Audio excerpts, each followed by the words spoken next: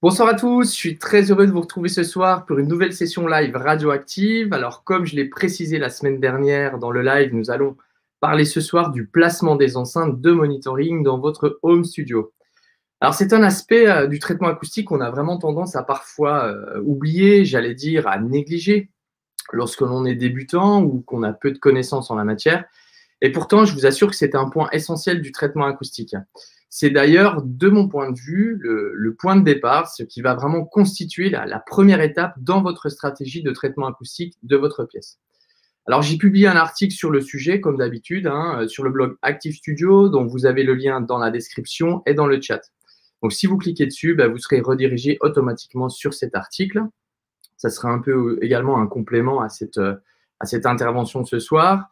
Et euh, comme d'habitude, bien sûr, hein, si vous voulez intervenir ou si vous avez des questions, ou tout simplement si vous voulez partager votre expérience, bah, dites-le moi, euh, soit dans le chat, euh, et je prendrai du temps vraiment à la fin de ces petites présentations pour répondre à toutes vos questions.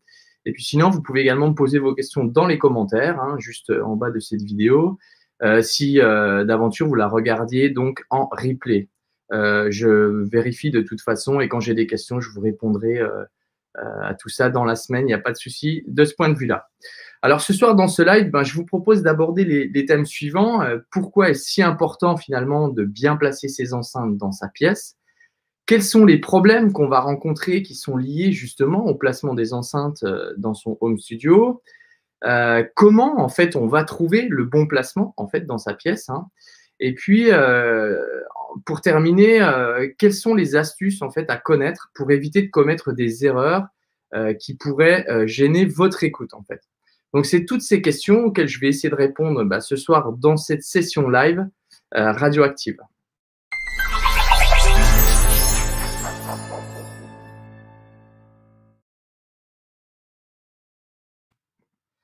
Alors pourquoi est-ce si important de bien placer ses enceintes dans sa pièce? Alors la première chose, sachez qu'il n'existe pas d'enceinte parfaite. Alors bien sûr, certains modèles qui sont euh, haut de gamme hein, euh, se distingueront par leur, leur, euh, leur, capacité, leurs aptitudes, à, leur performance surtout à restituer un son qui soit plus ou moins neutre. Donc ces enceintes-là, qu'on dit haut de gamme, elles vont vraiment respecter le timbre de la source sonore sans justement ce qu'on appelle colorer le son. En fait, ça, on, on va pas, va pas le déformer. On va vraiment avoir un son euh, qu'on dit généralement qui est pur. D'accord? Je vais vous partager une petite, euh, une première diapo euh, qui va vous permettre de voir un peu. Je vous ai fait un petit comparatif en fait entre deux enceintes. Donc une enceinte haut de gamme. Donc on a sur la diapo, c'est l'enceinte la, Neumann KH420, la célèbre, hein, j'allais dire KH420. bon, c'est une enceinte qui est très haut de gamme puisque c'est dans les 2500 euros l'unité. Donc Bon, hormis euh, ce fait-là, ce qu'il faut bien voir ici, c'est que euh, euh, elle a vraiment une courbe de réponse qui est très très linéaire. Hein. J'ai rarement vu d'ailleurs une, enceinte aussi parfaite. Et puis en dessous, je vous ai mis la, la Yamaha HS8. C'est des enceintes, voilà, qu'on va dire, qu'on va appeler milieu de gamme, hein, qui, ont vraiment eu beaucoup de succès. Et euh, alors, on voit que la courbe de réponse en fréquence, elle est beaucoup moins linéaire. Hein. On voit d'ailleurs des, accidents, notamment des accentuations dans le bas du spectre, un, trou également. Euh, je crois que c'est aux alentours des, 80, 90 Hz. Je ne vois pas très bien sur le diapositive, mais je crois que c'est ça. Euh, mais bon, il y a moyen quand même de, mixer avec, avec ces enceintes malgré tout. Alors, quand on a dit ça, souvent l'erreur qu'on entend et qu'on fait, c'est de se dire bon, bah, du coup, je vais investir dans des enceintes haut de gamme, je vais vraiment mettre le prix. Comme ça, j'aurai un super son et j'aurai pas de souci d'acoustique. Alors, il y a vraiment euh, quelque chose qui est primordial à considérer justement et qu'on oublie très souvent, c'est la notion de couplage des enceintes avec l'environnement acoustique. Et ouais, il faut bien comprendre que placer des enceintes haut de gamme dans une pièce où il y aura une mauvaise acoustique qui ne permettra pas euh, véritablement d'apprécier euh, la qualité des enceintes, et plus grave encore, en fait, euh, bah, ça ne permettra pas de mixer sereinement, quoi. D'accord? Alors, si vous placez, par exemple, les, enceintes Neumann, là, je vous ai présenté les hauts de gamme dans une pièce où il n'y a, pas une acoustique optimale, euh, qui va présenter des anomalies, des creux et des bosses, d'accord? Et eh bien, en résumé, euh, vous allez avoir, en fait, des enceintes que vous, comme si vous aviez acheté des enceintes haut de gamme, d'accord? Le son sera inévitablement déformé. Donc, si on effectuait d'ailleurs une mesure, ça mettrait en évidence une courbe de réponse en fréquence qui serait totalement différente de ce que je vous ai montré sur la fiche fabricant. Hein. et il y aurait vraiment des anomalies et ça serait un peu à l'image de, des, Yamaha HS8. Alors, ce qui est vraiment important de retenir ici, c'est qu'une pièce qui est non traitée acoustiquement, elle peut très facilement eh ben, euh, transformer des enceintes, j'allais dire haut de gamme, en enceintes milieu de gamme. D'accord? Et ça, euh, c'est vraiment important, cette notion de couplage enceinte-environnement, c'est ça euh, qui va permettre finalement de minimiser l'influence de l'acoustique sur le son des enceintes. Alors maintenant, ce que, je pense important de, se poser comme question, et, d'ailleurs on va s'y intéresser, c'est quels sont vraiment les, problèmes principaux qu'on va rencontrer euh, quand on, va devoir poser ces enceintes dans, une pièce. Donc le premier problème, vous le connaissez, je pense tous, ce sont, les modes, ce qu'on appelle les modes, qui, vous le savez, hein, concernent les, ondes stationnaires.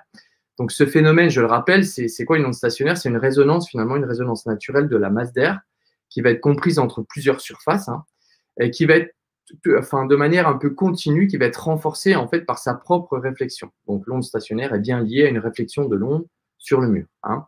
Alors de manière plus précise, c'est ça, c'est l'onde qui va, qui va aller rebondir sur une paroi, et puis cette réflexion qui va arriver en sens inverse, en fait, va alimenter au fur et à mesure la résonance, va s'additionner, et du coup, ben, on va entendre un son, euh, un son qui peut être plus important, mais pas que, puisque la, la, l'onde stationnaire, elle va se manifester de deux façons soit une amplification du son, donc auquel cas on va entendre quelque chose de plus fort, donc ça c'est vraiment la résonance à proprement parler. Et puis aussi, on peut, euh, on peut avoir un trou, c'est-à-dire avoir quelque chose comme une coupure, comme si on avait descendu le, fader de, sa table de mix. On peut avoir une coupure de la fréquence qui va être concernée justement par cette onde stationnaire. Alors on a la possibilité hein, d'identifier les fréquences auxquelles on, va rencontrer ce phénomène. Et, c'est tout simplement voilà, ce qu'on appelle, ce qu'on appelle pardon, les modes propres de la pièce.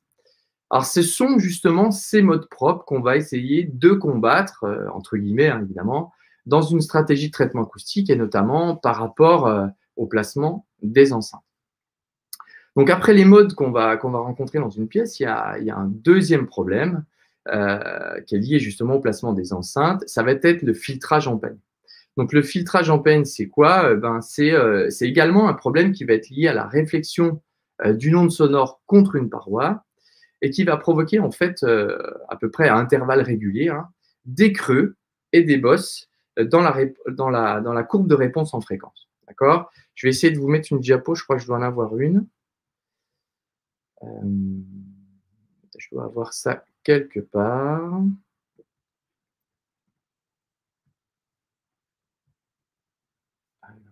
que je vais ici? Je vais aller vous la chercher. Je vous deux petites secondes.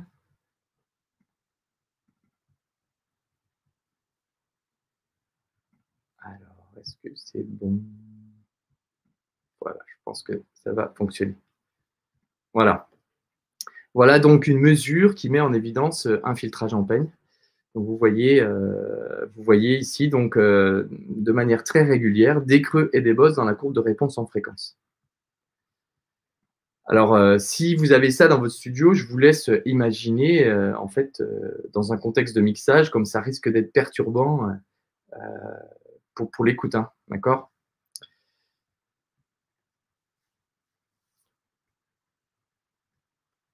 Alors, ce phénomène de filtrage en peine dont, je viens de vous parler, en fait, quand on va placer ces enceintes euh, dans son studio près justement du, mur qui est situé derrière ces enceintes, c'est ce qu'on va appeler le SBIR. Alors le SBIR, ça veut dire en anglais Speaker Boundary Interference Response, d'accord?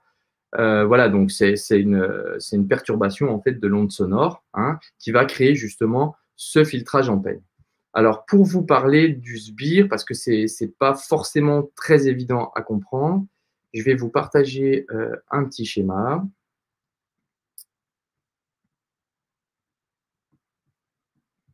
qui va être ici. On va aller chercher là, voilà. Donc voilà le schéma du sbire. Donc la première chose par rapport à ça, avant de vraiment de vous expliquer en détail de quoi il est question, rappelez-vous bien que des enceintes de monitoring, elles vont diffuser en fait dans toutes les directions. Quand je dis dans toutes les directions, il n'y a pas que devant, il y aura aussi vers le plafond, sur les côtés et également derrière, puisque c'est là, c'est justement la paroi qui est derrière les enceintes qui va nous concerner au premier chef. Donc, les enceintes vont, diffuser derrière, notamment, ce sont principalement les fréquences basses, puisque vous savez que les, les, fréquences basses, elles sont plutôt omnidirectionnelles, donc elles diffusent partout par rapport aux fréquences aiguës qui, elles, sont beaucoup plus directionnelles. Donc, euh, le sbire, en fait, ce qu'il faut bien comprendre, c'est que, en réalité, le problème posé par le sbire, c'est une réflexion dont le quart de sa longueur d'onde va correspondre, en fait, à la distance euh, du mur et des enceintes. Alors, maintenant, je vais, je vais reprendre le schéma pour bien vous faire comprendre ça. Donc, vous voyez ici sur le schéma, vous avez l'enceinte qui est placé par rapport au mur arrière, donc on voit qui est, est sur la gauche. Et donc, euh, on voit qu'il y a un quart de longueur d'onde entre euh, la membrane de l'enceinte, d'accord, sur la, sur la partie droite de l'enceinte, et le mur. Donc, on considère qu'il y a un quart de longueur d'onde. Donc, on voit que, pardon, un quart de longueur d'onde plus loin, qu'est-ce qui se passe? Eh bien, c'est à l'endroit où il y a ma première flèche orange sur le schéma. Donc, on voit ici, à cet endroit-là, que le son direct donc, est arrivé euh, à cet endroit-là, et puis le son réfléchi qui a parcouru en fait une demi-longueur d'onde. Donc on voit que les deux, le son direct et le son réfléchi, euh, vont finalement arriver à se mélanger à cet endroit-là. Et qu'est-ce qui va se passer? Eh bien, tout simplement, la fréquence en question, eh bien, on ne va pas l'entendre puisque le son va totalement être annulé. En fait, il y a une totale opposition de phase à cet endroit-là. Donc, si imaginons qu'on soit situé au point d'écoute à cet endroit-là, eh bien, on ne va pas du tout, du tout entendre l'onde sonore qui est en question. D'accord? Donc, vous imaginez un peu comme c'est problématique le sbire. Il faut vraiment comprendre ça, c'est vraiment très important. Et c'est le principal problème qu'on va rencontrer dans la, problématique du placement des enceintes dans un home studio. Donc, si je continue mon petit raisonnement, si je continue d'aller vers la droite, donc on va aller se diriger vers ma, vers ma deuxième flèche orange. Donc, je me décale encore vers la droite d'un quart de longueur d'onde. ok? Et là, qu'est-ce que je vois? J'arrive en fait euh, à un endroit où on voit que l'onde sonore est amplifiée. Donc là, je vais pas être dans un creux, mais je vais plutôt être sur une bosse. Donc là, je vais plutôt être dans une résonance. Et puis si je continue, eh bien, un quart de longueur d'onde plus loin, donc au bout de ma longueur d'onde totale, finalement, on le voit très bien là-haut, hein, eh bien, ma troisième flèche, eh là, de nouveau, je vais avoir un creux dans ma courbe de réponse en fréquence, tout simplement, une annulation totale, hein, une annulation complète euh, quasiment euh, de, ma fréquence en question. Donc, je pense que vous comprenez bien maintenant la, problématique hein, du, du, sbire. Ça peut être vraiment très, très destructeur en termes d'écoute, notamment dans, un contexte de Nice. Hein. Alors du coup, euh, en fonction de la distance hein, des, enceintes, c'est-à-dire euh, quand si, on bouge les enceintes par rapport, euh, par rapport au mur, donc on va pouvoir calculer en fait quelle fréquence va être concernée par le sbire, et donc on va, on va pouvoir savoir en fait quelle fréquence va nous poser problème par rapport à la distance à laquelle on aura posé nos enceintes. Donc pour mieux comprendre ça, je vais vous donner un petit exemple. Imaginons que les enceintes, on les place à 50 cm du mur arrière. D'accord? Donc, on a placé nos deux enceintes à 50 cm. On sait, et on l'a dit tout à l'heure, que euh, le sbire, c'est quoi? C'est le problème, en fait, qui est posé par la réflexion dont le quart de sa longueur d'onde va correspondre à la distance mur-enceinte. Donc, si j'ai 50 cm de distance mur-enceinte, donc je peux calculer, en fait, ma longueur d'onde. Je fais 50 cm x 4, d'accord? Et j'ai donc, à 50 cm, j'ai donc une, une onde euh, sonore qui fait 2 mètres de longueur d'onde. OK? Maintenant, pour trouver euh, quelle est en fait euh, la fréquence hein, de cette onde sonore-là, ben, je vais faire la vitesse euh, ben, divisée par la longueur d'onde. Hein, c'est la formule mathématique. Donc, comme vitesse, je vais prendre 340 pour la facilité du calcul. Donc, c'est la vitesse du, son. Hein. Donc, 340 divisé par 2, qui est donc la longueur d'onde, eh bien, je trouve 170 Hz. Donc, c'est à, c'est, à 170 Hz que je vais avoir en fait un sbire euh, si je place mes enceintes à 50 cm de la paroi. D'accord? Alors, il ne faut pas oublier aussi que cette, ce sbire, on l'a vu tout à l'heure quand je me décalais sur la droite, mais on va retrouver en fait euh, ce sbire à d'autres fréquences, d'accord? Au, au, multiple en fait de 170, on va retrouver à 340, on va retrouver le même problème à 510. ok? Donc voilà, vous voyez que juste par un petit calcul mathématique et en ayant euh, mesuré la distance mur enceinte, eh ben, j'arrive à savoir un peu, à anticiper en tout cas euh, à quelle fréquence je vais avoir ce sbire. Et du coup, c'est vachement intéressant euh, de, connaître ça dans une stratégie de traitement acoustique. Alors, il y a le site de Arken, A-R-Q-E-N, et puis le site de Genelec aussi, le fabricant d'enceintes, qui, qui, explique très bien aussi ce phénomène. Euh, vous verrez, c'est plutôt bien expliqué. Alors, c'est en anglais, mais euh, c'est assez facile à comprendre. Euh, d'ailleurs, le schéma, là, je l'ai repris sur le site Arken, qui explique bien le, principe avec le quart de la longueur d'onde et puis justement les creux qu'on retrouve de manière, de manière comment dirais-je, assez symétrique en fait.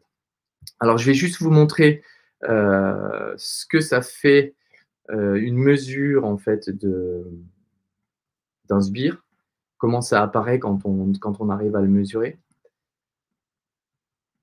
Voilà un sbire euh, sur une mesure qui a été faite sans doute par Homekio Wizard, vous voyez. Donc on a un énorme creux dans la courbe de réponse en fréquence. Donc imaginons euh, que, vous soyez placé à cet endroit-là, ben là vous risquez d'avoir, donc on peut l'identifier, ça doit être aux alentours des 110 Hz. Donc vous voyez toutes ces fréquences qui sont super importantes euh, dans, dans le bas du spectre, hein, dans, plein, plein, plein d'instruments, j'allais dire dans quasiment tous, effectivement. Donc là, c'est quand même, euh, c'est là qu'on va avoir un peu de dynamique, un peu de pêche hein, sur, les batteries, sur les basses, etc. Donc, euh, autant vous dire que si vous avez un sbire à cette, fréquence-là, ça va être très problématique si vous vous mettez à mixer ou en tout cas si vous n'avez pas résolu ce problème. Alors maintenant, on va passer à, on va essayer de se poser la question, en tout cas, comment trouver le bon placement de ces enceintes? Ce n'est pas le tout d'avoir identifié les problèmes, de savoir quels, sont ceux que je vais rencontrer finalement dans ma pièce, mais ce qui serait bien de savoir, c'est comment on peut trouver le bon placement. Alors, s'agissant des modes qu'on a vu tout à l'heure, qui est, le, premier type de problème dont je vous ai parlé, qu'on peut trouver dans un studio, il y aura deux méthodes qu'on pourra mettre en place. Donc la première, euh, c'est la méthode du balayage spectral qui est assez empirique, hein, c'est vrai, mais qui est intéressante et qui peut vraiment permettre d'améliorer le placement de ces enceintes. Donc cette méthode, en fait, c'est quoi? Ça consiste à générer un bruit rose hein, à l'aide de, votre séquenceur préféré. Hein, tous les séquenceurs le font. Euh, vous avez un petit plugin que vous allez chercher dans votre séquenceur qui va vous générer un bruit rose. Euh, et, en fait, bon, après, il faut faire une petite manipulation d'automation pour pouvoir vous diffuser ce bruit rose euh, du spectre, euh, grosso modo de 20 Hz à 20 Hz, d'accord? Et puis, en fonction du son que vous allez entendre, en fonction du placement où vous allez vous situer, en fait, hein, sur, dans, votre pièce, au point d'écoute, bah, vous écoutez si vous avez des, résonances ou si vous avez des pertes de, de, son dans votre audition, dans, dans ce qui sort de vos enceintes. Alors, ce qu'il faut faire très attention, c'est justement de respecter cette distance, euh, enfin ce, triangle équilatéral euh, par rapport au placement de votre point d'écoute. D'accord? Il faut vraiment toujours avoir la même distance entre les deux enceintes et également avoir la même distance entre les deux enceintes et le point d'écoute. D'accord? Ça fait vraiment un triangle équilatéral, c'est-à-dire que les trois côtés sont égaux. Ça, c'est vraiment très important. Donc, vous vous placez, vous bougez les enceintes et puis vous, avez, vous prêtez une, attention euh, vraiment euh, concentré sur ce, qui sort de vos enceintes. Et vous allez voir que vous allez arriver à percevoir parfois des résonances dans votre pièce. Et là, ben, là pour le coup, on note, on considère que ce n'est pas un bon placement. Donc, on essaie de changer la position de l'enceinte, etc. Et vous allez arriver comme ça, de manière empirique, à trouver un placement qui vous permette justement, ben, là où vous n'entendrez pas de résonance. Donc, ça peut vraiment être intéressant de faire comme ça. Alors, une petite astuce euh, par rapport à ça, c'est vrai que le bruit rose, pour ceux qui n'ont pas l'habitude, de travailler dans, ces fréquences-là, parce que c'est quand même un, bruit, c'est pas, pas super chouette. Euh, je vous conseille de, si vous avez une basse, si vous avez une ligne de basse, enfin, je suis sûr que vous pouvez en trouver sur le web comme ça, vous mettez votre piste de basse en solo. Et, euh, ben vous la mettez, vous la diffusez au lieu du bruit rose, vous diffusez une, une ligne de basse. D'accord? Et vous allez voir que c'est vachement euh, pratique. Et là, les résonances, pour le coup, vous allez les entendre de manière beaucoup, plus, beaucoup plus facile. Quoi. Ce sera vraiment plus facile pour vous de, d'appréhender ces résonances dans, votre pièce. Alors, juste pour la petite info, j'avais publié euh, un article justement où j'explique la méthode du balayage spectral. Je vous ai dit tout, de suite qu'il euh, y avait une petite méthodologie à mettre en place, notamment avec euh, une automation pour, balayer tout le, spectre. Donc voilà, je vous, vous, avez le lien en fait dans le, dans le chat. Je vais vous le faire apparaître. Je crois que je crois que je dois l'avoir mis. Je regarde ça. Alors, ouais, il est là. Voilà, c'est euh, sur le, blog Active Studio, donc sage balayage-spectral. Euh, donc, il suffit de cliquer dessus dans, dans le chat et, euh, et, vous aurez donc le lien directement où je vous explique un petit peu comment il faut faire pour, pour arriver à mettre en place un balayage spectral. Alors ça, c'était pour la première méthode. La deuxième méthode pour identifier les modes, euh, alors elle sera beaucoup plus fiable, effectivement, parce qu'elle est beaucoup moins empirique, euh, mais elle est plus technique et ça demande des connaissances. C'est tout simplement d'effectuer des mesures avec le logiciel Room EQ Wizard, notamment, il y en a d'autres, hein, mais, euh, mais, principalement Room EQ Wizard. Et en fait, ce qu'on va faire, c'est le même principe. On va déplacer, déplacer pardon, ces enceintes dans, dans la pièce, d'accord Et on va effectuer des mesures au point d'écoute, d'accord toujours en veillant à respecter le triangle équilatéral euh, donc par rapport, euh, par rapport à son point d'écoute et ses enceintes. Ça, c'est très important. Quand je dis ça, il faut bien comprendre que si vous élargissez en fait vos enceintes, si vous décalez vos enceintes euh, sur l'extérieur, donc vers la droite et vers la gauche, eh bien évidemment, ça va agrandir les côtés de votre triangle équilatéral. Donc, ce qui veut dire que vous allez prendre la mesure en reculant votre point d'écoute. D'accord? Plus vous allez resserrer vos enceintes, plus vous allez euh, vous rapprocher avec votre point d'écoute, plus vous allez écarter vos enceintes, plus votre point d'écoute va reculer. D'accord? Donc ça, vous respectez ça, vous placez votre micro de mesure au point d'écoute et vous effectuez les différentes mesures. Donc une fois que vous avez, alors après, à vous, libre choix hein, de, faire autant de mesures que vous voulez. Et une fois que vous avez tout ça, eh bien, vous, allez euh, pouvoir générer euh, dans Remake Wizard un petit graphique qui s'appelle le OLSPL qui va vous permettre de visionner toutes vos, euh, toutes vos courbes en fait euh, sur un même écran avec des couleurs différentes. Donc, je vous montre ce que ça donne. Donc c'est vrai que c'est assez pratique du coup. Euh, voilà. Donc voilà, vous aurez un, graphique de à peu près comme ça. Donc là, pour, pour que ce soit plus facile pour la vidéo ce soir, euh, bien, je vous ai tout simplement mis que quatre courbes. Donc, on voit la verte, la jaune, la bleue et la rouge.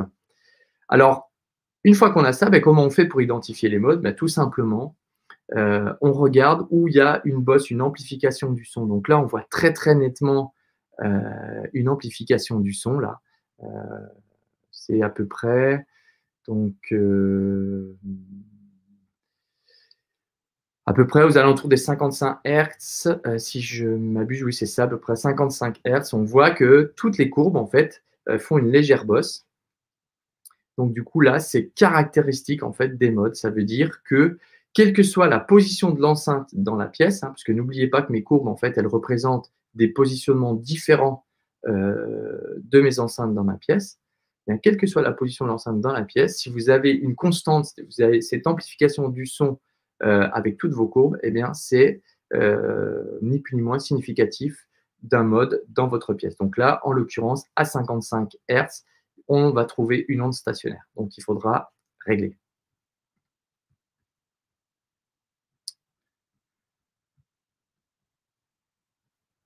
Donc voilà pour euh, l'identification des, modes, d'accord? Et puis, s'agissant du sbire qu'on a vu tout à l'heure, donc grâce à un petit calcul, on l'a vu, hein, euh, c'est assez facile à identifier les fréquences qui risquent d'être euh, donc sous-représentées au point d'écoute. Alors, comment donc du coup on peut euh, justement minimiser ce sbire qui va être principalement le gros problème dans, dans la problématique des enceintes, je le rappelle. Donc la première solution, et on l'a évoqué, je crois, la semaine dernière, je ne sais plus si c'est la semaine dernière ou la semaine d'avant, à travers une question d'un auditeur qui était là pendant le live, euh, bah, c'est tout simplement la première solution, c'est tout simplement d'encastrer euh, les enceintes dans son mur. D'accord? Effectivement, puisque le fait d'encastrer vos enceintes dans le mur, il n'y aura pas de réflexion à l'arrière du mur. OK? Du coup, plus de réflexion, plus de problème, plus de problème de sbire. Donc voilà, la première solution, elle est radicale. Si vous, pouvez, si vous avez la possibilité d'encastrer vos enceintes dans votre mur, dans votre studio, eh ben c'est parfait. C'est d'ailleurs pour ça que dans certains studios euh, qui sont enfin, professionnels, où on voit que les enceintes sont encastrées, c'est principalement euh, la raison pour laquelle ils ont fait ça, c'est pour enlever la problématique du sbire. Alors la deuxième solution, parce que tout le monde n'a pas justement n'a pas cette euh, possibilité d'encastrer ses enceintes, c'est d'essayer justement bah, de rapprocher ces enceintes au maximum du mur. Mais bien entendu, c'est d'essayer de rapprocher ces enceintes au maximum du mur, près du mur, de manière à laisser le sbire s'exprimer. On ne va pas l'éliminer, donc il va s'exprimer. Mais en fait, le fait de rapprocher ces enceintes du mur, il va s'exprimer à des fréquences qui seront assez faciles à corriger, donc qui vont euh, finalement nécessiter une épaisseur d'absorption euh, qui ne sera pas trop importante. Alors, je vous explique ça. Je vais vous partager un petit tableau que je vous ai concocté cet après-midi qui vous montre en fait euh, euh, qui vous montre en fait les, donc le placement des enceintes, la distance euh, du mur et des enceintes, donc ça c'est sur la gauche, euh, à quelle fréquence on va obtenir le sbire. Donc on voit qu'à 10 cm, on a un sbire à 860 Hz. voilà, vous voyez les différentes valeurs. À 15 cm, c'est 573. À 40 cm, si je vais jusque là, donc on a un, un sbire à 215 ensuite, dans le rouge, on voit qu'à 50 cm, on est à 172. À 3 mètres, on est à 28 Hz. Et puis à 4 mètres, on est à 21,5 Hz. Alors vous allez me dire, mais pourquoi, euh, mais pourquoi il y a donc euh, du vert et euh, du rouge? Ben, Tout simplement, ce que je voulais vous montrer à travers ça, c'est ce que je vous conseille, enfin c'est la distance que je vous conseille de respecter pour placer vos enceintes donc entre 10 et 40 cm. Pourquoi? Parce que, imaginons que vous placez vos enceintes à 10 cm, vous avez un sbire à 860 Hz, et éliminer un sbire à 860 Hz, il, suffira de poser des panneaux absorbants de 10 cm d'épaisseur. Je rappelle la formule, on dit généralement qu'un absorbant il est efficace s'il est capable d'absorber euh, euh, à peu près un quart de la longueur d'onde. D'accord? Donc, euh, bah, à 860 Hz, euh, le, quart de la longueur d'onde, ça sera 10 cm. Donc, il faut, euh, une épaisseur de 10 cm pour pouvoir absorber le sbire à 10 cm. Donc, c'est pas très compliqué. Vous voyez Un, c'est pas très compliqué. Et deuxièmement, c'est pas très, pas très encombrant, en fait. Donc, c'est tout à fait jouable dans, dans une stratégie de traitement acoustique de, j'allais dire, monsieur tout le monde. Par contre, plus vous allez vous éloigner, vous voyez que si je prends par exemple la valeur 30 cm, Là, on est déjà à 286 Hz de sbire. Ça veut dire qu'il va falloir des absorbants à 30 cm. Donc là, c'est déjà plus conséquent.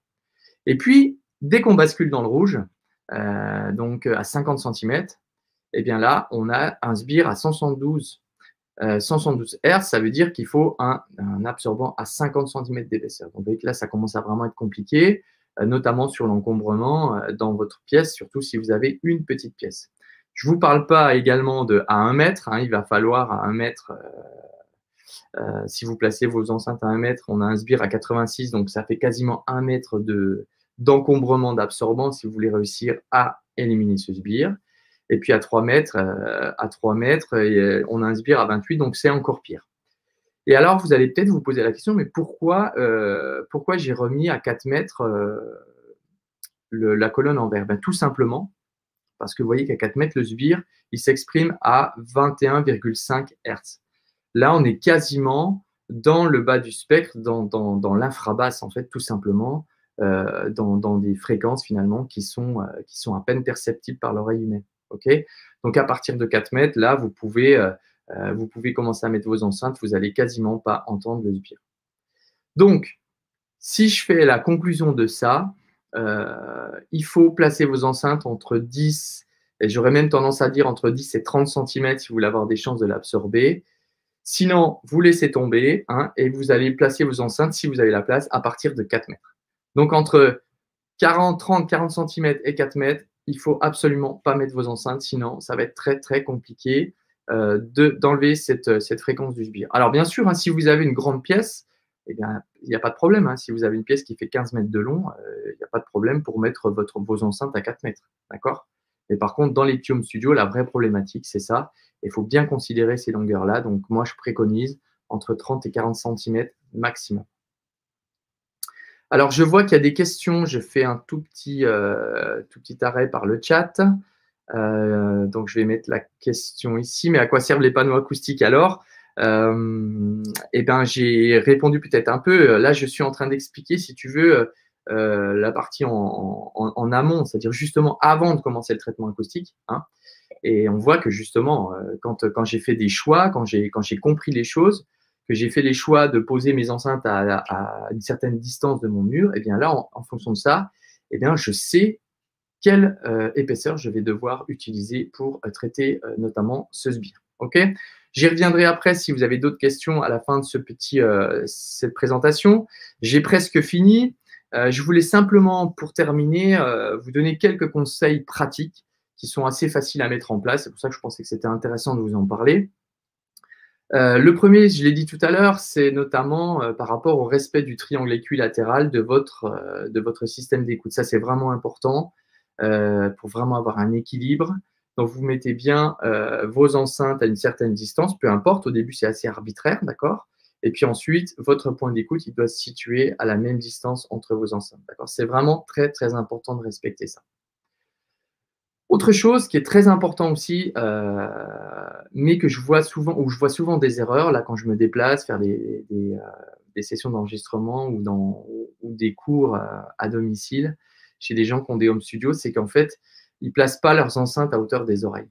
Et ça, c'est vachement important. C'est-à-dire que euh, c'est presque pratiquement la première chose qu'il faut faire. En fait, vous mesurez, c'est tout simple. Hein, vous prenez un mètre, vous mesurez la hauteur. Vous, pouvez viser en fait entre entre votre HP et le Twitter. Euh, donc généralement, il y a une petite distance entre les deux. Vous pouvez prendre, euh, voilà, c'est entre entre les deux. Les deux hein. Vous mesurez la hauteur et puis ensuite vous, vous mettez un mètre près de vos oreilles et vous réglez la hauteur de votre siège pour être justement à cette hauteur-là. C'est vraiment important.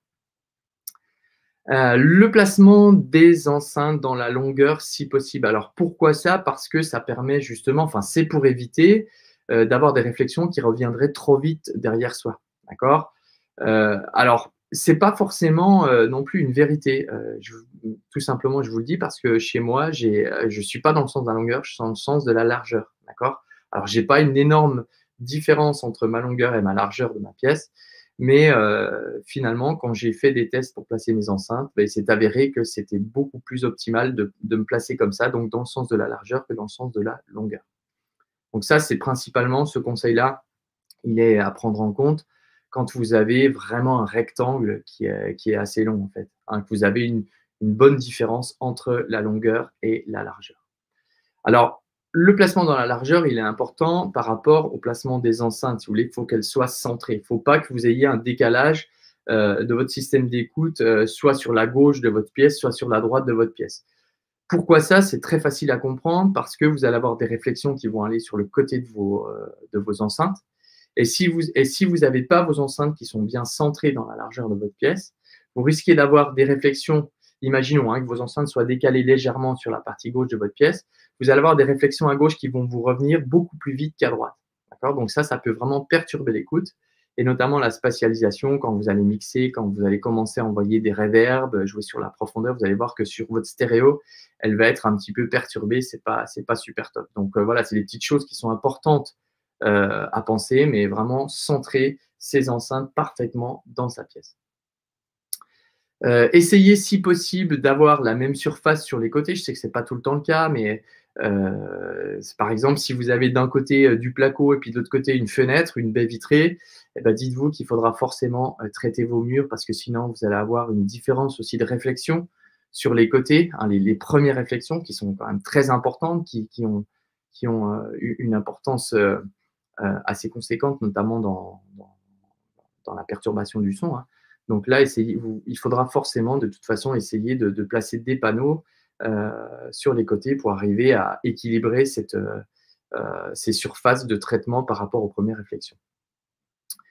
bien sûr, ça c'est quelque chose, je pense que vous le savez, c'est à proscrire, c'est ne pas mettre ces enceintes dans les angles, puisque les angles, on sait, c'est là que vont s'accumuler les basses fréquences. Et faites l'expérience, hein, vous diffusez du, son dans votre pièce et vous allez poser votre tête dans l'angle de votre pièce peu importe, hein, dans les quatre, ça fera à peu près le même effet. Vous verrez que vous allez avoir une amplification des basses qui est énorme. Donc, euh, surtout à éviter euh, par rapport à ça. Euh, un petit conseil qui, est, ouais, qui a son importance, qui parfois peut. Alors, c'est pas toujours probant, mais parfois c'est intéressant, c'est d'essayer de poser ses enceintes sur des pieds avec des supports mousse, on trouve ça dans le commerce. voilà. Ça évite principalement que quand on pose ses enceintes sur, sur, son, sur son bureau, en fait, hein, sur son desk, en fait, qu'il y ait une, fréquence de résonance qui, qui, qui, vienne gêner, en fait, la diffusion pardon, la diffusion du son. Donc euh, voilà, si vous avez des pieds et puis de la mousse, vous pouvez investir là-dedans, ça sera toujours mieux, ça va, ça va minimiser justement cette, euh, cette résonance qu'il pourrait y avoir avec votre, euh, votre bureau qui vous sert de home studio. Et puis dernière chose, c'est quelque chose à laquelle on ne pense pas tout le temps et d'ailleurs ça va prendre tout, tout son sens quand, quand on va commencer à s'intéresser au problème du sbire c'est, euh, vous savez, généralement, alors toutes les enceintes n'en sont pas dotées, mais on a des petites corrections électroniques euh, derrière ces enceintes. Et si elles sont là, c'est bien pour quelque chose, c'est justement pour euh, venir eh ben, un peu minimiser ce problème du sbire qu'on a expliqué tout à l'heure. Alors, je vais vous montrer une diapositive. Moi, j'ai des focales, j'ai des focales, j'ai les Alpha 50 qui sont dotées justement de ce type de correction électronique au dos. Voilà. Euh, donc celles-ci, elles ont la particularité d'avoir un coup bas, euh, la fréquence de coupure étant à 250 Hz. Donc ça me permet en fait eh d'atténuer les fréquences basses ou les augmenter, mais c'est très rare de les augmenter. Euh, c'est souvent on les coupe. voilà, donc jusqu'à moins 6 dB. donc entre 0 et 250, à moi de régler bah, l'intensité de, la coupure.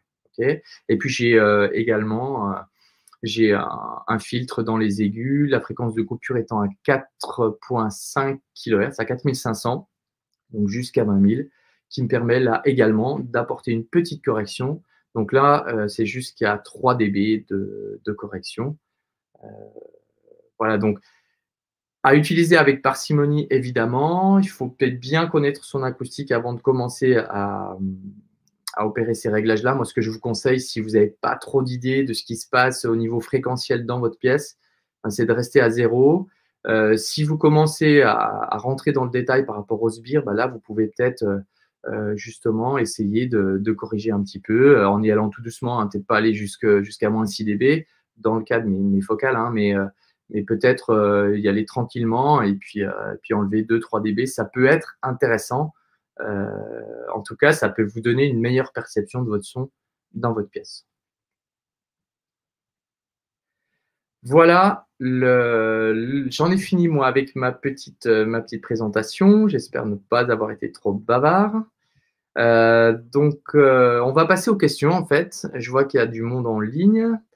Donc, bonsoir à tous. Donc, j'avais déjà répondu hein, par rapport aux, panneaux acoustiques, donc ils servent en fait, hein, euh, tu, l'as bien compris. Euh, si tu as identifié ta fréquence du sbire, si tu as fait le petit calcul, et eh bien en fonction de ça, tu vas pouvoir eh bien choisir euh, à bon escient, j'allais dire, l'épaisseur de tes panneaux pour, bien eh ben, pour absorber et pour corriger ton sbire dans ta pièce. Donc, est-ce que vous avez des questions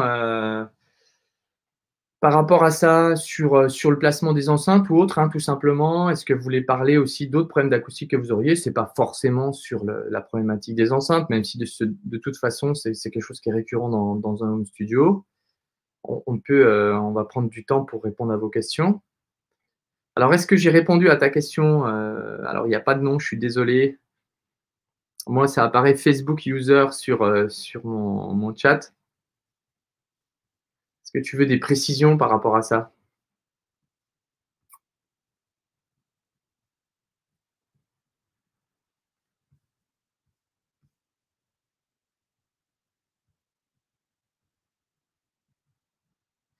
Alors, on a une question. Euh, merci. Donc, euh, le sbire est-il différent selon les instruments enregistrés?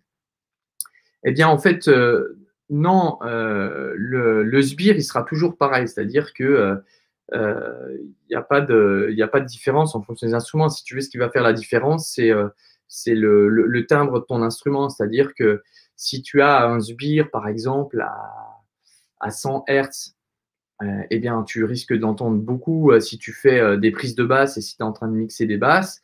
Après, si tu fais, euh, si tu es, si en train d'enregistrer euh, un Glockenspiel, par exemple, pour aller vraiment aux extrêmes, hein, eh bien là, tu ne vas, tu vas pas l'entendre, donc tu n'auras pas de souci de ce point de vue-là. voilà, le sbire, lui, il est, toujours pareil, d'accord? Il, faut, il faut voir ça comme, comme vraiment une stratégie globale pour, pour améliorer l'acoustique. Alors évidemment, hein, par contre, si, si tu as un sbire à 110 Hz, et on sait que 110 Hz, ça va être une fréquence qu'on va retrouver dans énormément d'instruments, euh, si elle est là vraiment présente et que ton, point d'écoute, il est, vraiment dans ce nœud qu'on a vu dans ce trou, hein, où tu risques pratiquement ne pas avoir cette fréquence-là audible, euh, donc là, ça risque vraiment de te poser des problèmes. Donc, quel que soit l'instrument, tu vas le retrouver. Ça, c'est vraiment lié, euh, j'espère bien avoir, bien avoir expliqué en début de, de, ce live, c'est vraiment lié au couplage donc des enceintes avec la pièce. C'est-à-dire que euh, on va prendre les mêmes enceintes dans une autre pièce, et eh ben on aura un, sbire euh, à une autre fréquence. D'accord? Donc euh, voilà, c'est très particulier. C'est pour ça qu'il faut étudier qu'un traitement acoustique, ça ne se fait pas non plus comme ça que de manière empirique. Il faut quand même, ce que je disais la semaine dernière, il faut des connaissances, il faut, il faut travailler le sujet. mais c'est très important quand, quand on sait les, les dégâts que ça peut provoquer, une pièce euh, mal traitée ou non traitée, euh, c'est quand même vraiment important. Et, moi, je le dis souvent que le traitement acoustique, c'est vraiment le premier maillon de la chaîne de production musicale. C'est-à-dire, euh, souvent, on a des questions, enfin, on me pose des questions, mais comment on peut faire un mix pro qui sonne vraiment pro Et ben, la première chose qu'il faut faire, je pense, c'est le traitement acoustique. Il faut être sûr de pouvoir mixer en étant sûr de ses sources. D'accord? C'est vraiment, fondamental de mon point de vue. Je pense que c'est pas toujours, euh, pas toujours le cas. C'est parce que parce ça demande, comme je le disais, des connaissances, de l'investissement aussi. Hein. Si on veut vraiment euh, opérer un super traitement acoustique, ben, il faut acheter des panneaux. On peut les construire, ça coûte moins cher, mais c'est quand même un vrai investissement. Donc, euh, bah, de ce point de vue-là, voilà. Si on, veut vraiment avoir un son pro, il faut, bosser dans une bonne acoustique. Il n'y a pas de secret. Alors, je vois que tu me mets. Non, c'était très clair. Bah, écoute, je te remercie. Tant mieux si j'ai répondu à ta question. Est-ce que tu en as d'autres éventuellement qui peuvent, hein, comme je le disais, déborder euh, sur le sujet euh, euh, Ça peut être sur d'autres sujets du traitement acoustique. Ce sera avec plaisir de te répondre. Je vois que tu en as posé une. Donc, si l'on met de la moquette dans la pièce, est-ce que cela impacte sur le son ou le sbire? Alors, on en a justement discuté c'était, c'était, c'était, euh, je crois que c'était la semaine dernière. Non, c'était la semaine d'avant, voilà, sur la moquette. Donc la, moquette, effectivement, elle va avoir un impact sur ton son dans ta pièce. Qu'est-ce qu'elle va faire la moquette? Ben, Tout simplement, la moquette, euh, la particularité de la moquette, c'est qu'elle va absorber, puisqu'elle a un pouvoir absorbant. Alors selon l'épaisseur, hein, d'accord Mais elle va principalement absorber dans les fréquences aiguës. Donc du coup, qu'est-ce qu'elle va faire? Elle va, euh, si tu en mets beaucoup dans ta pièce, elle va beaucoup absorber, absorber dans les fréquences aiguës. Donc ça, c'est plutôt une bonne chose parce qu'on sait qu'il faut absorber, mais absorber trop dans les aigus, qu'est-ce que ça va faire? Eh bien, on n'aura pas absorbé dans, le, dans les mids et dans les basses, et du coup, on va déséquilibrer la courbe de réponse en fréquence, d'accord? Donc, on va en fait rendre ta pièce, on dit un peu dead, c'est-à-dire qu'on va trop absorber, on va surabsorber les fréquences aiguës, et Dieu sait si les fréquences aiguës, on en a besoin dans tout ce qui est l'air, euh, par exemple de la voix, euh, euh, on, va, on va amener, oui, oui cet air,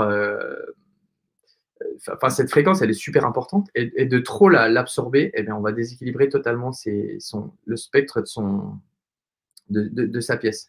Donc en fait, la moquette, ça peut être bien dans certains cas de figure, mais attention à pas trop en mettre, d'accord? Et attention à ne pas oublier tout le reste du spectre. C'est pour ça que moi, dans, quand j'ai des gens qui me demandent comment je peux euh, traiter l'acoustique de mon studio, ce que je préconise, c'est d'utiliser des, euh, des panneaux à large bande qui vont traiter une large bande du spectre, Qui vont aller euh, à 3 400 Hz, qui vont monter jusqu'à 3 4 kg, voilà, quelque chose qui est avec une grande bande de fréquence. Alors évidemment, avec une efficacité qui va varier en fonction de l'épaisseur, hein, mais il faut essayer de plus traiter avec des, panneaux à large bande qui permettront justement de, moins déséquilibrer euh, la courbe de réponse en fréquence. Alors, par rapport au sbire, euh, bien non. En fait, le sbire, il est vraiment lié en fait à la réflexion du son euh, avec le mur à l'arrière de tes enceintes. D'accord? Le sbire, c'est uniquement ça. Voilà. Donc, si tu mets, effectivement, si tu mets de la moquette sur le mur arrière de tes enceintes, là, tu vas corriger un sbire, mais tu vas corriger un sbire. Alors, encore faut-il que ton sbire il soit dans les, dans les fréquences très, très hautes. D'accord? Imagine que la moquette, selon son épaisseur, absorbe aux alentours de, je sais pas, aux alentours de 5 kg. un sbire à 5 kg, tu vois, c'est quasiment, ça, n'existe pas. Le sbire, c'est plutôt, ça va être plutôt dans, dans, dans, les mid et dans les basses fréquences. Voilà.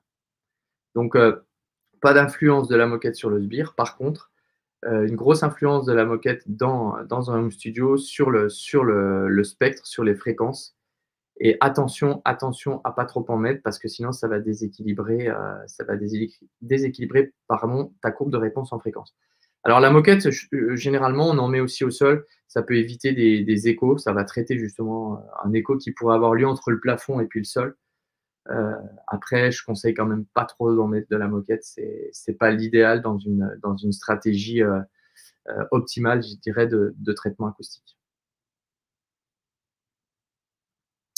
Voilà pour la réponse. Est-ce que vous avez d'autres questions, ceux qui sont en ligne? Je vois que vous êtes, vous êtes six avec moi ce soir.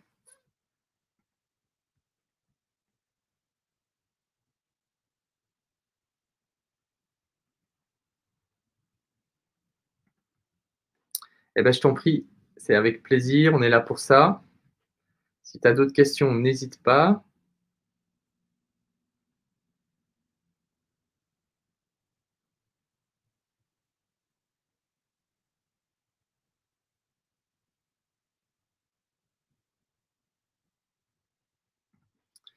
Pour moi, ça va. Ben, écoute, c'est parfait, c'est très bien.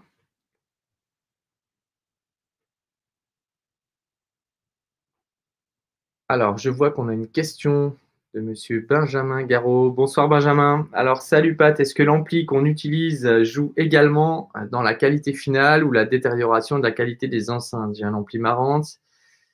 Ok, est-ce que ça vaut le coup que j'essaie le deuxième? Oui, alors évidemment, euh, ça c'est dans, dans ta chaîne audio. Euh, alors, on déborde un peu du sujet, mais c'est important aussi de, de considérer ça. Effectivement, un ampli, euh, un ampli va avoir une importance déterminante justement dans, ton son. C'est-à-dire que euh, si tu as un ampli de mauvaise qualité, tu n'auras pas un son de bonne qualité au sortir de tes enceintes. Tu peux avoir du souffle, ça peut générer euh, la distorsion, ça peut générer plein de choses comme ça. Donc, le mieux, Benjamin, ce que je te conseille, c'est d'essayer tes deux amplis et de voir ce qui, pour toi, au niveau sonore, te convient mieux. Après, il y a des choses qui sont faciles à percevoir, hein, notamment justement le, comment, la distorsion, euh, le, souffle aussi, hein, à, volume important. Euh, donc, euh, à toi de, voir celui qui te convient le mieux par rapport à ça. Ah, on a Gaël qui nous pose une question. Salut Gaël. alors, salut Pat, suite au placement et à l'absorption, quelle solution si tu perds des fréquences dans le mid et dans le haut du spectre? Alors, j'imagine donc Gaël, tu as mis, euh, de l'absorption donc euh, dans ton studio et tu as perdu, tu t'es rendu compte que tu avais perdu des fréquences dans le haut et dans les mid. alors ça, c'est ce que je disais tout à l'heure. Effectivement, c'est complètement normal puisque le fait de mettre de l'absorption, eh ben, euh, forcément, c'est le principe d'absorber. On absorbe, donc on perd, on perd des fréquences, d'accord? Donc là, on peut en récupérer et pour ça, il y a euh, une solution, euh, je l'avais abordé dans un live, c'est notamment euh, la diffusion qui va permettre justement de récupérer un petit peu de, vie à la pièce. Ça va permettre de, redonner un peu de un côté naturel à la pièce. Alors la, diffusion, c'est vraiment très bien, c'est très efficace, c'est comment dirais-je, c'est très surprenant au départ quand on quand on n'a jamais utilisé la diffusion. Après, il faut quand même des pièces qui sont euh, qui sont pas importantes, c'est pas ce que je veux dire, mais il faut quand même avoir une certaine distance entre euh, entre les, parois pour pouvoir poser des, diffuseurs de manière à ce que ce soit vraiment efficace. Mais euh, voilà, vraiment la solution pour récupérer pour récupérer de la vie à ta pièce et, ces fréquences justement là, c'est placer des diffuseurs. Alors après aussi, il faut voir si tu as pas placer trop trop d'absorption, euh, si tu en as pas trop mis, c'est souvent ce qui arrive en fait euh, dans, dans les home studios, c'est qu'on en met beaucoup beaucoup et finalement, voilà, on perd, on, on, arrive à solutionner certains problèmes, des, comme des ondes stationnaires, on récupère un peu dans, dans les basses, on minimise les problèmes, mais finalement, on a, une absorption qui a, qui, a, trop pêché dans le, dans haut du spectre. Du coup, on a une pièce un peu dead. Et là, et, là, on s'en aperçoit beaucoup, beaucoup quand on fait de la prise de son, notamment. On se rend compte que voilà, les, prises sont un peu, elles sonnent un peu toutes, euh, euh, ouais, sans, vie là. Il euh, n'y a, a, pas de corps, donc du coup, c'est c'est pas toujours évident. Donc, à vérifier ouais, que tu n'aies pas mis trop, trop, trop, trop d'absorption. Alors, je ne sais pas combien tu as mis de panneaux. à voir aussi les, voilà, l'épaisseur. Je ne sais, pas, je sais pas exactement comment tu as, procédé. Est-ce que tu peux nous en dire plus éventuellement euh, là-dessus? Si tu as besoin de précision, hein, bien sûr.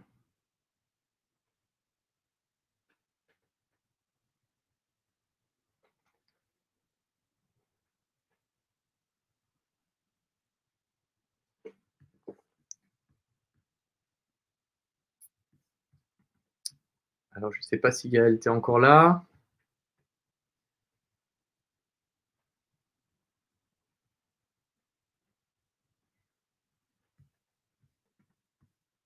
Ok.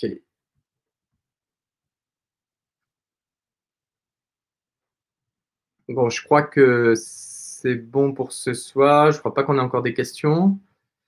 Euh, alors, bah, écoutez, je vous remercie en tout cas d'avoir assisté à ce live. J'espère euh, que vous aurez des, des, billes, entre guillemets, pour pouvoir, euh, pour pouvoir placer vos enceintes de manière optimale. N'oubliez pas que c'est vraiment hyper important. Ça vaut vraiment le coup de prendre du temps pour ça. C'est vraiment le, la, base, la base du traitement acoustique. Et même si vous ne faites pas de traitement acoustique, je vous garantis que le fait d'avoir bien placé ces enceintes là où on aura le moins de problèmes, parce qu'il ne faut pas, rêver, hein, on on, va pas trouver un endroit où on aura zéro problème. C'est là où on en aura le moins. Mais déjà ça, c'est avoir fait un, grand pas dans, dans, sa, stratégie de, de traitement acoustique. Ah, je vois que Gaël, donc tu as répondu. Donc, j'avais pensé à la diffusion derrière les enceintes. Ma pièce est de 35 mètres carrés. Ouais, ce qui est bien. Super. En 120 par 60, deux super chunk, ouais. Trois panneaux de chaque côté et un derrière les enceintes. Euh, puis suite euh, à plusieurs remplacements. D'accord. Ouais, mais écoute, c'est une bonne stratégie. Euh, donc la diffusion, effectivement, hein, tu, tu, peux en mettre derrière les enceintes s'il te reste un petit peu de place. Euh, tu peux en mettre des, de la diff derrière tes enceintes. Ça peut fonctionner vraiment très bien, d'autant plus que toi, tu as quand même une, surface euh, assez importante. Donc, tu peux te le permettre, vraiment. Et tu vas voir, c'est euh, vraiment, c'est la, diffusion peut vraiment te changer le, son de ta pièce. c'est vraiment super important. Je dis ça parce que souvent dans les home studios, et je pense que c'est ton cas, on fait, euh, on mixe, on fait du mix, on essaie de mixer ses productions, mais aussi on fait de la prise de son. Et, euh, la diffusion, c'est vachement bien pour, euh, pour le traitement acoustique, mais c'est vachement bien aussi pour les prises de son. C'est-à-dire, on va vraiment grandement améliorer les prises de son. Hein. Quand on a de la diffusion dans une pièce, là, je vous garantis que d'un seul coup, les, prises de son, elles, sont, elles prennent une, une autre dimension. Quoi. Euh, je voulais juste te répondre aussi, donc de Supertune, donc ça, ça va être tes bass traps, il n'y a pas de problème. 120 euh, par 60, après, tu m'as pas trop parlé de l'épaisseur, mais il faut voir l'épaisseur.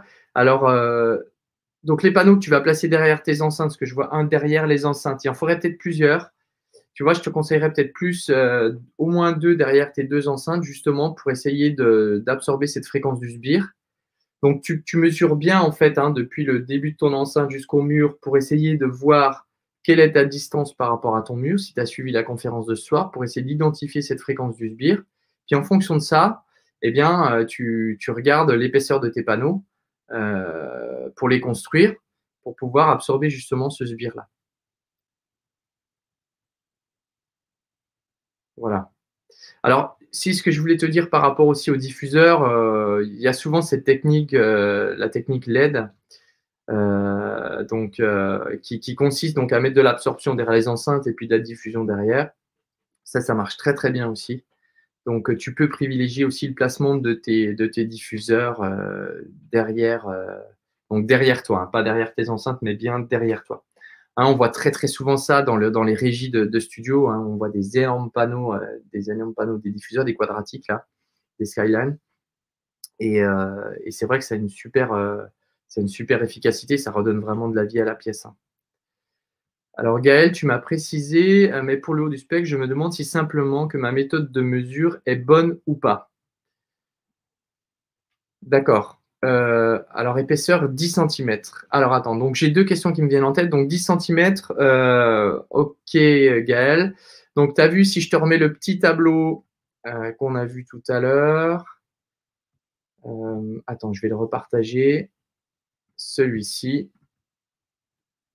Donc 10 cm, tu vois que tu auras. Euh, il va te falloir. Ouais.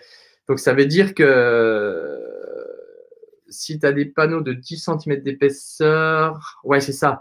Il faut que tu mettes tes enceintes à 10 cm euh, du mur. D'accord? Il faut, euh, voilà, guère plus parce que sinon tu ne pourras pas absorber. si tu n'as que 10 cm d'épaisseur, ton sbire, voilà, 10 cm d'épaisseur, on absorbe des fréquences euh, à peu près correctement vers 800, 800 Hz. Donc euh, voilà, il ne faut pas que tu recules trop trop tes enceintes. Hein. Donc ça, il faut bien que tu y penses. Euh, et puis, ce qui me venait à l'idée aussi, c'était par rapport à ta remarque.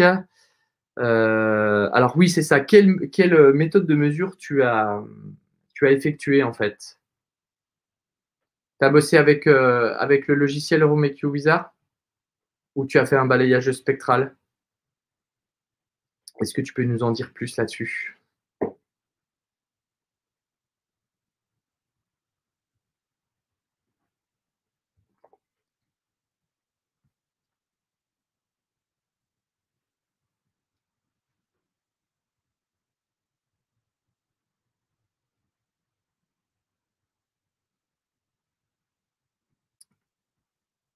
Que ça, ça sera important de, voilà, de, connaître. Si tu as des doutes ouais, sur, ta, sur ta méthode.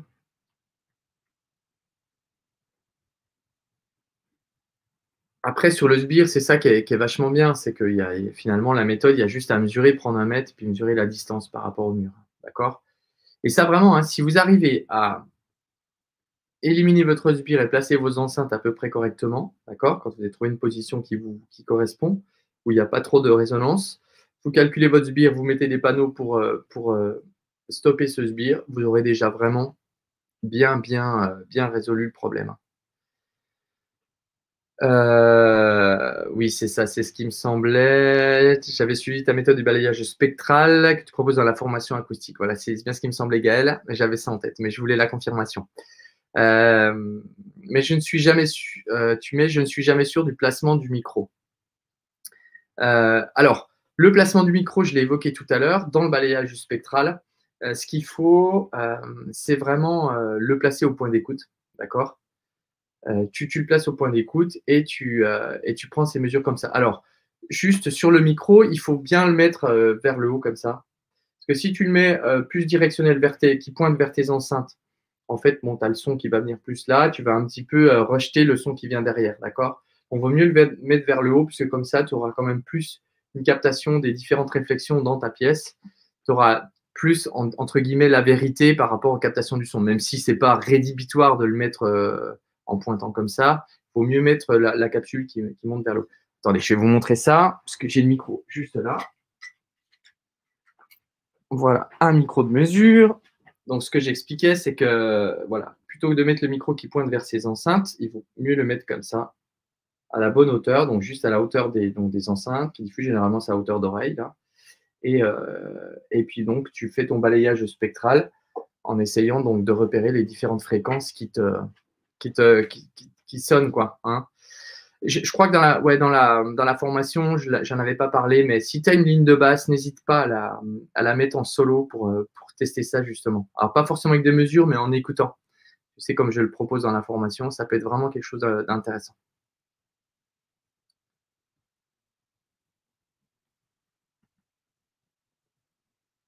Est-ce que j'ai répondu, Gaël, un peu à, tes interrogations par rapport à ça?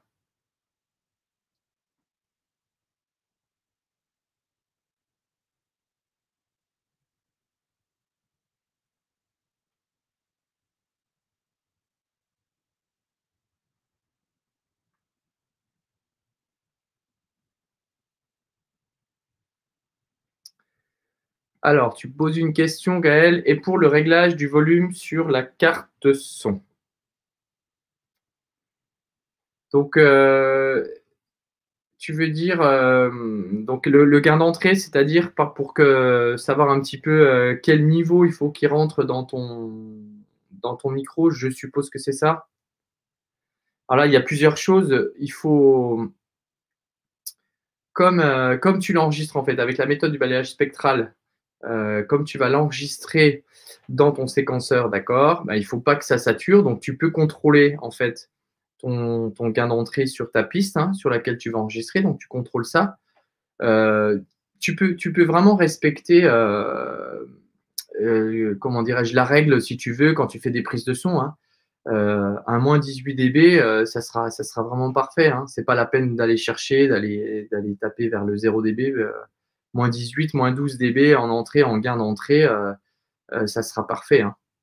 Ne te casse pas trop la tête là-dessus. L'essentiel, c'est que, tu aies du, euh, comment dirais-je, que tu aies, du, signal dans ton micro qui rentre pour pouvoir l'enregistrer et puis lire à peu près avec euh, le, dans, ton séquenceur que tu arrives à analyser un peu les, les, différentes, euh, les différentes crêtes, les différents creux, etc.